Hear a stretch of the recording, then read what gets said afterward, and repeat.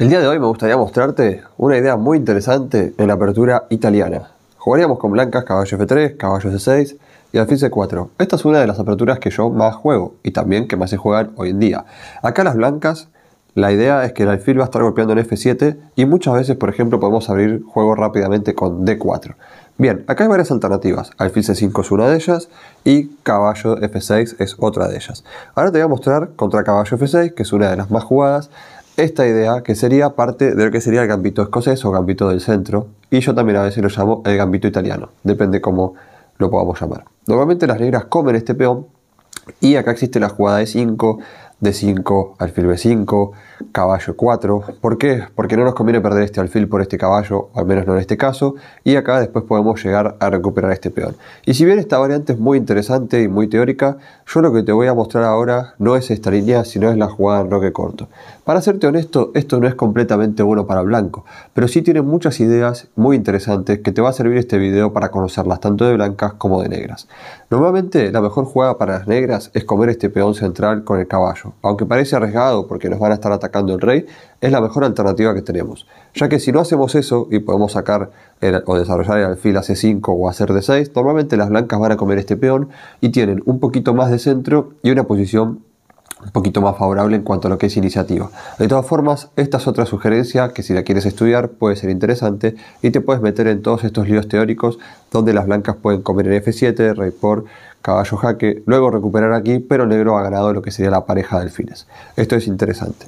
Ahora, yo lo que te voy a recomendar, como te dije, con negras, es la jugada caballo por peón.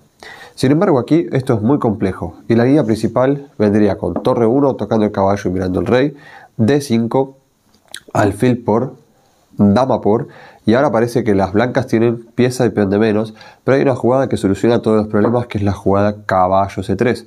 ¿Cuál es la idea de esta jugada?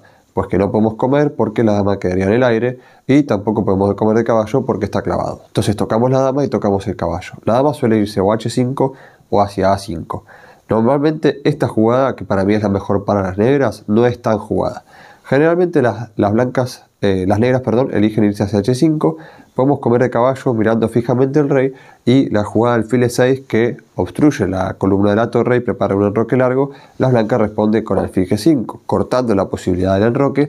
Y contra una jugada como H6 el blanco podría hacer la jugada del file F6, una trampa muy interesante ya que no puedes comer porque caballo por sería un doble y las blancas estarían ganando. Bueno, toda esta variante es muy compleja, para mí, para las negras, la mejor alternativa en este caso es irse con la dama hacia la casilla A5, donde si blanco hiciera lo mismo, ahora hago alfil E6 y contra la jugada de alfil G5, H6, no me estás haciendo la jugada alfil F6 porque ahora podría comerte, ¿vale? Y contra esta jugada probablemente yo podría sacarme alfil tocando tu torre y luego enrocarme corto, no sería tan problemático para las negras. Sin embargo, en todo esto que les estoy mostrando, hay una idea muy interesante para las blancas y es en este momento la jugada caballo C3. Y tú te preguntarás, bueno, pero ¿por qué caballo C3? Parece que te estás dejando todo.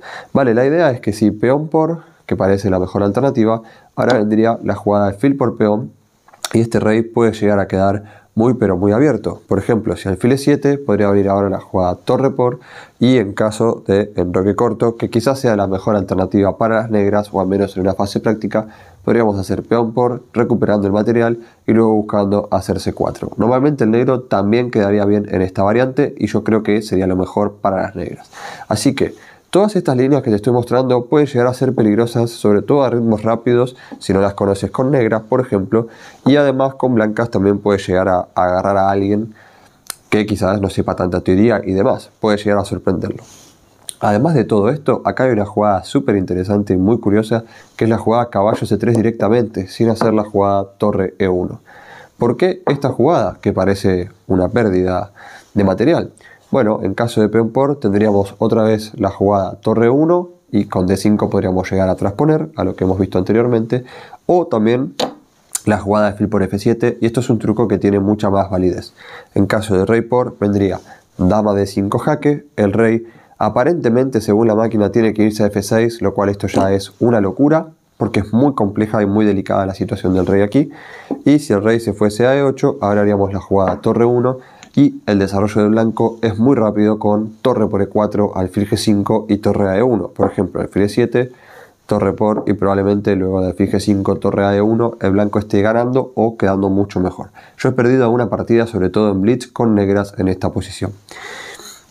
¿Cuál es entonces la mejor alternativa para las negras y evitar todos estos líos? Pues si alguna vez te enfrentas con negras contra esto, en este caso no comas este caballo, o al menos no con el peón, sino que cómelo con tu caballo y va a ser mucho más fácil, ya que ahora tienes material de más y puedes hacer la jugada de 5 y cuando el alfil se retire no te comas este peón porque te vas a enfrentar a líos tácticos como estos y luego de dama h5 no es tan agradable la posición para el negro. Mucho mejor en este caso, sin ser tan glotón y sin comer tantos peones, alfil e7 en caso de peón por en roque corto y ahora sí, tienes una posición muy sana, muy buena, con un peón de más y probablemente con algo de ventaja.